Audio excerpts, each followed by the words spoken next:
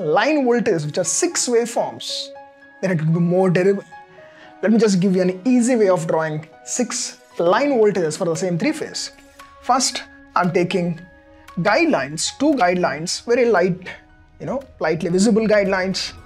Between these two guidelines, I'm just adding a triangle, a triangle starting from first peak, okay, positive peak, and one more triangle starting from negative peak overlapping. Every alternate points, alternate peaks, I'm just joining with a curve. And rest of the points also I'm joining with a curve. Same below, okay? Alternate, other alternates also I'm doing like this. This is the way. Some people will also say a little bit of shift. If you shift this a bit, then yes, this is also line voltage or even this. Both are equally valid. If you know power electronics really, then you will understand the difference. That's how simple is to draw line voltage for phase voltage. Check the link in the description. The first step towards achieving your dreams is having the right coach.